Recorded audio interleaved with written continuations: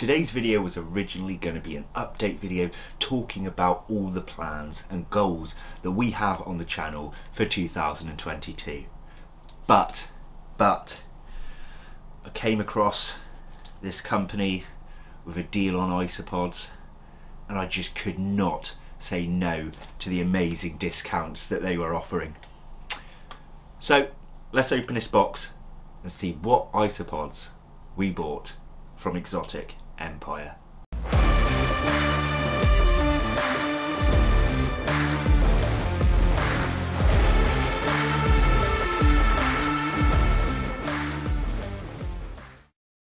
Hello and welcome back to Bug Realms. On this channel we like to discuss all things creepy crawly. So if that's something that interests you, please consider subscribing to the channel.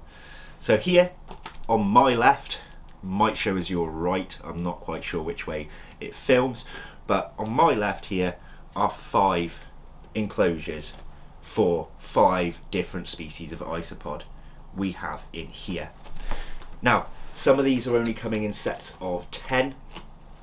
These might seem rather large for just 10 isopods, but uh, my personal research has been showing me that if you give them that bit of extra space when they're a small colony, they tend to thrive much better. Now, I'm not sure if that's the case for everybody, but that's certainly been the case for me, and that is something I will update you guys on in a different video, how I figured this out. So these are actually kind of in my way, so I'm going to move them down here in a minute. So, as I said, this was bought from Exotic Empire. Um, I found them offering discounted price if you were to message the owner privately rather than going through the website and they were just absolutely amazing deals. Now these deals I'm pretty sure would have ended by the time this video comes out to you guys unless there's any kind of extension on but I was just shocked at the money that I got off from these beauties. Now I know isopods aren't for everybody, I know that, but they are something that are going to be featuring a little bit more throughout the next year on this channel and that's for a couple of reasons and those reasons are something that I'm going to go into in my update video. So I've opened this box, let's have a look in it together. So being my first time buying from this company I'll sort of review it too. I can already see the packing is well done with this kind of fabricated cardboard. I'm, I'm not quite sure how you would call that but it's uh, it's really cool actually. I've not seen anyone use this kind of stuff, but it seems ideal actually. Let's see. Certainly packs well. Cool, cool, cool. So, one tub, two tubs, three tubs. Oops, slightly opened that one. Four tubs, Oh! No, Sam, don't open them, don't set them free.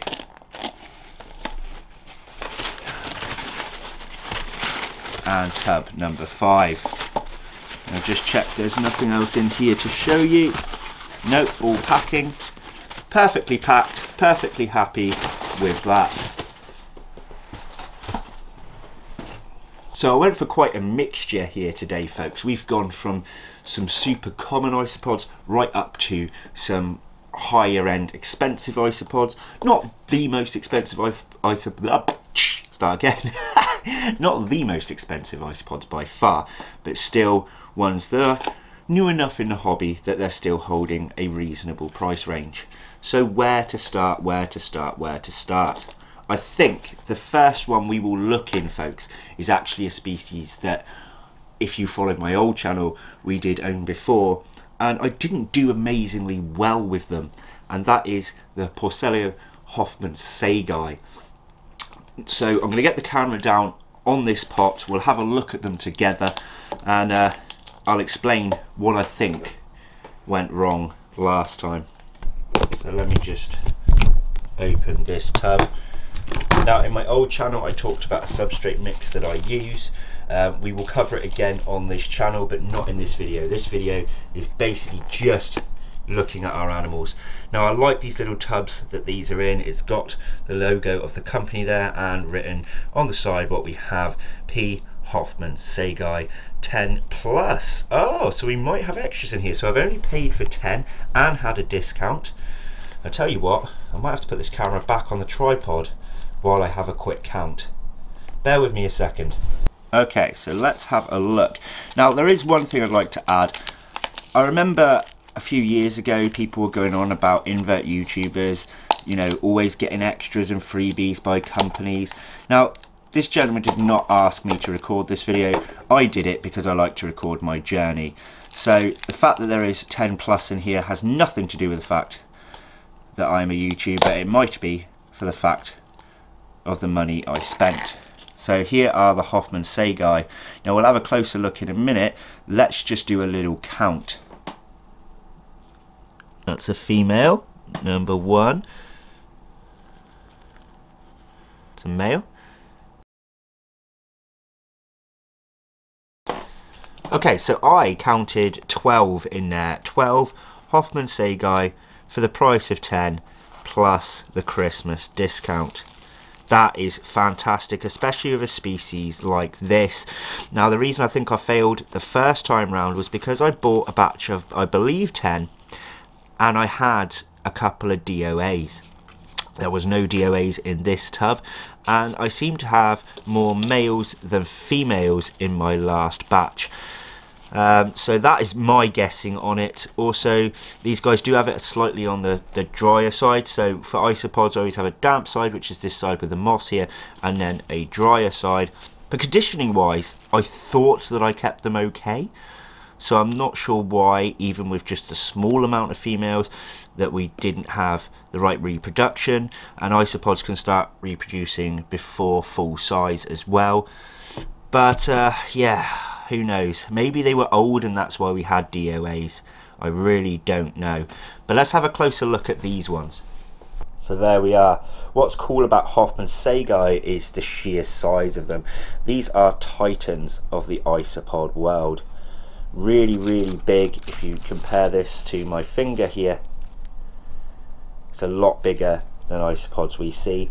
Now you can have different uh, colour morphs or variations to hoffmannseggi. So here, as far as I can tell, they are all your typical grey ones with a slightly whiter skirt, but you can get kind of chocolatey ones and other ones too. Now that's not to say these don't have the genetics to do so in their bloodlines.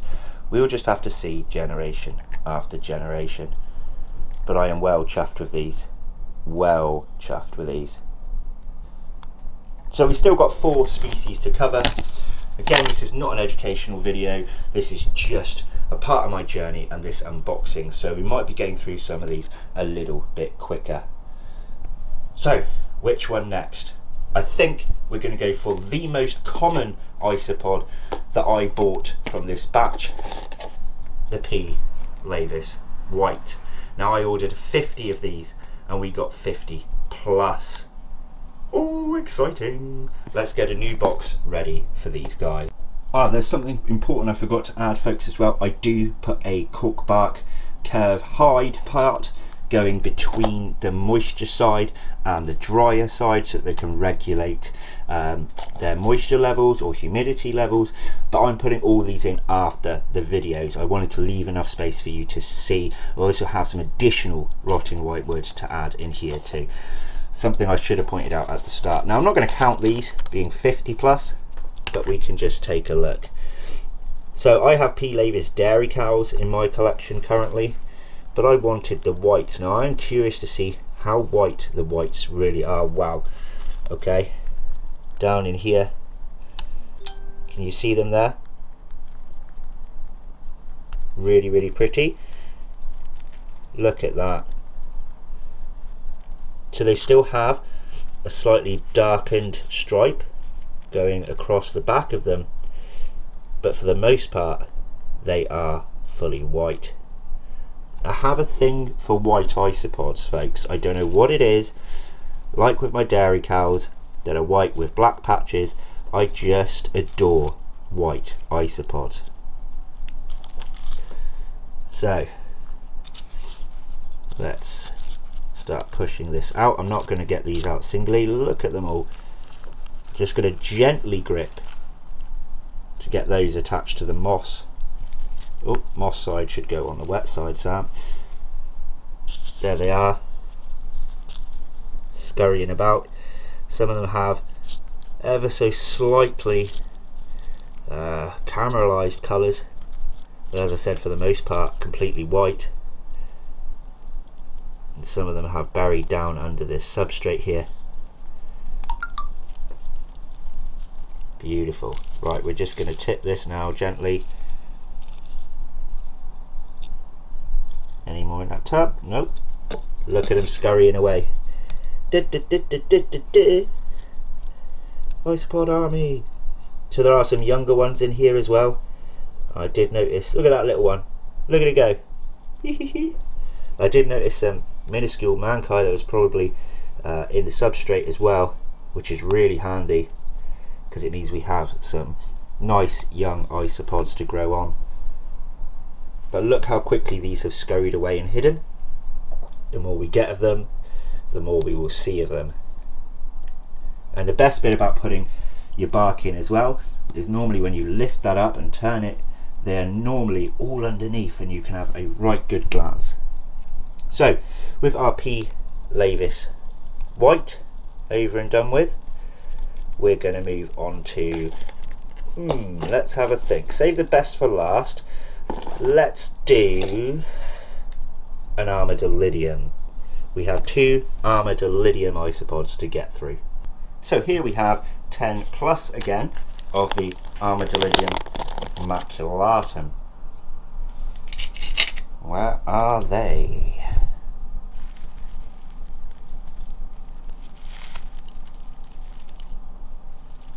Where are you guys? These ones are hiding very... Ah, ha, ha. There they are. So they have that typical, well-known zebra patterning on them. Oh, I love these guys. I should have got these a long time ago. I've always, always eyed them up, but never owned them until now. There we go, have a look at that one. That's a real perfect specimen there. Got that beautiful shine to them. Oh, baby. Baby down there. Wow. And I've got to say, this substrate mix feels so perfect like for isopods absolutely perfect. So this company clearly know what they're doing in keeping isopods. So massive well done to Exotic Empire. Now I'm not an isopod expert. This is something that I've only been into in the last year or so. So I have a lot to learn myself but I can tell you that this is a very rich supreme um, substrate for them you can just feel it in the texture. You can see it with your eyes. It's spot on. So now that we've had a look at our zebras let's start tipping this in gently.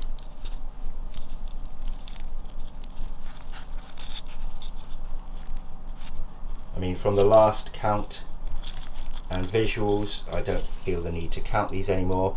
The only one I am going to count is the rarest of that selection. Now I've just made a pile here. I'm sorry, my little zebras. Are you all okay? Can't even see him now. If you can spot one, comment it below. Better eyes than Bugman Sam. In fact, most people have better eyes than Bugman Sam. But it's fine. Anyway, they're all hiding. I don't want to stress them out particularly. But there we go.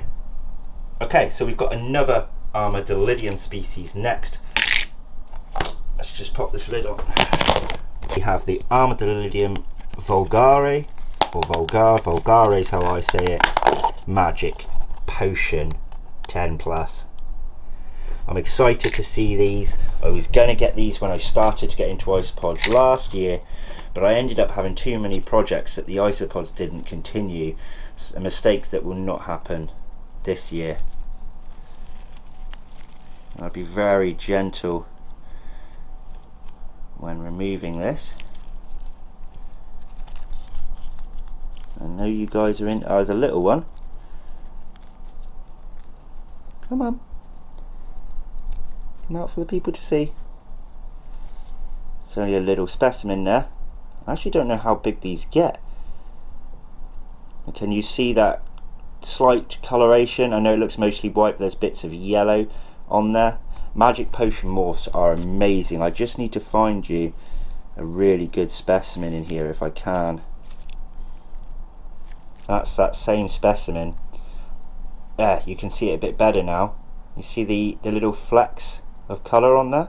There's another one just buried underneath. Here. Finally, I found one where you can have a proper view. Is that not striking? You've got your whites, your yellows, your darker spots. Oh, sorry, dude. Come on, you can do it. You can do it. Come on, it's really not that much of a struggle. Tip yourself, tip yourself. Reminds me of a knocked over tortoise. It's because it hasn't got much to grip on there to, just, oh shame. Right, let's give you a hand then.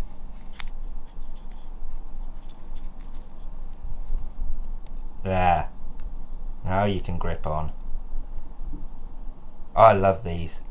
I think this is such a cool colour morph.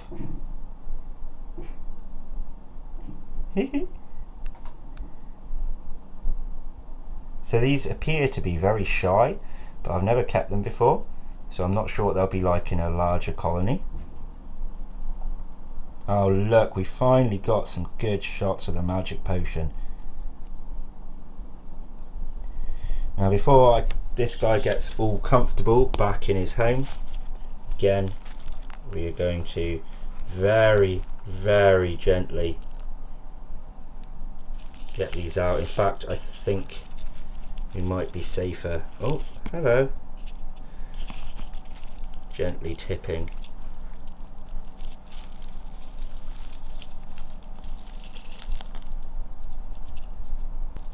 I love this substrate mix. It's just so fluffy. Anyway, we got a good look at those. So we are moving on to a species I cannot wait to show you. Or exciting times. So it is not a ducky, but it is a Cubaris. So if you didn't know already, we have Cubaris species Panda Kings and they are breeding. And hello. Sorry, got distracted. Look at that one, in a ball, and you can still see the coloration. So yes, oh, oh, there's another one. Oh, look. Oh, this is exciting. So yes, we are going to move on to our Cubaris now. I just, oh my god. I can't help but stare though. Come on, Sam, stop being distracted. But they're so pretty. They're so pretty. Cannot wait to put all the bark pieces in and have that moment of lift. And there they are. Okay, okay, okay. Lid on. Baba. Cubaris species red edge. And the fact that there is a 10 plus there is incredible.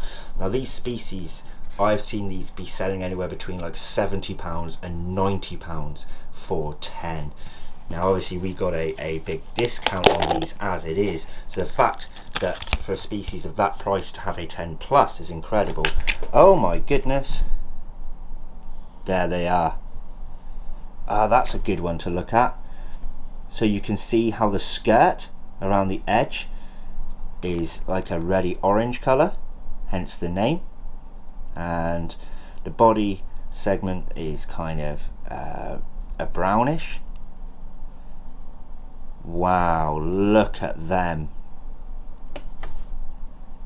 Now I reckon if you popped a bit of a photograph on one of these with a, a photographic editor you could really see that red skirt. Now the lights on them so you can see how they've all started dispersing down. Okay, I'm going to put the camera on a tripod. I think I feel the need to count these, being a species of a higher value. I'd like to know how many he's put in here. I love the shape of Cubaris as well. I love the overall look of Cubaris. They are amazing. Now I've got a white light feature on which is probably taking away some of the red. I can see it a bit better with my eyes than I can on the camera. But you notice the ones in a bit more shaded area, how it pops a bit more. Now these guys are all trying to get out and I want to do my count. So let's pop you on the tripod. Okay, they're all in. I counted at least 12, um, but I did kind of rush through, so there may well be mancae in there, or there might have been one or two I missed. But the fact that having those extras, even on something more expensive, was incredible. So massive, massive thank you to these guys for doing that for me. Now, they've all kind of burrowed away. I wanted to get some shots of them in here. Um, Oh, there's a little one.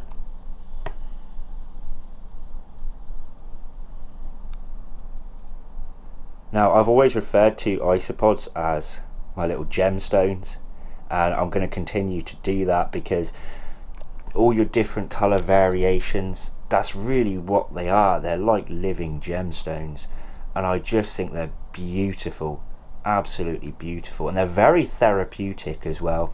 If you find yourself stressed and you have isopods a bit more in abundance than what we can see here just watching them can really really de-stress you. And if you'd like me to do a video on how exactly that works for me let me know in the comments below um, and I'll be more than happy to do so because the world is a horrible place a stressful place and things like this can make it worth it make it beautiful Hello, little Cubaris Red Edge. You having an explore? You're gorgeous. I'd also like to do a video on why isopods are not boring as well. Um, but I think I need a few more species under my belt before I do that. Wow.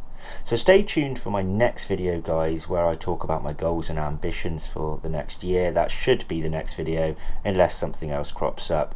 Oh wow, you can see the light shine right through that Cubaris there. Really, really cool. Hi, it's come to say hi. Amazing. Now Cubaris are my favourite genus of isopod and that's not just because they contain the duckies that's because everything about them fascinates me. Their general shape is just amazing to me. The colorations you can get in them. Yes owning duckies one day would be amazing. But all Cubaris just seem to fascinate me. I cannot wait to get my hands on some more so fingers crossed we do well with these Cubaris species red edge as well as all the others too, of course. So that's that for this video. Now you might have noticed that in this video and the last video I'm starting to get my beard back. Um, I'm allowed one at work at last as long as I keep it short. So as long as I keep trimming it down like I have done here, Bugman Sam is back with a beard and I love it. So folks, as I said, stay tuned for the update video. It's not just going to be an update of me sat here talking. There are things to show you. Um, I went on a trip recently and I got some spider gifts, some tarantula gifts. Um, that I'd like to show off to you in that video. I received a Christmas present from a subscriber and patron of mine that he's actually a bit of a lifesaver for me in the realm. It's amazing and and various other things. So please, please it's not just going to be me jabbering on, there is stuff to show you in the update video coming next. So I wish you all a very good new year and I will see you next week on Sunday. Thanks for watching guys and remember as well check out Exotic Empire you can Google it to get to the website or there is a Facebook page. Very responsive, very wonderful person. I can't score them lower than 10 out of 10. So yes, check him out. Take care guys. Bye-bye.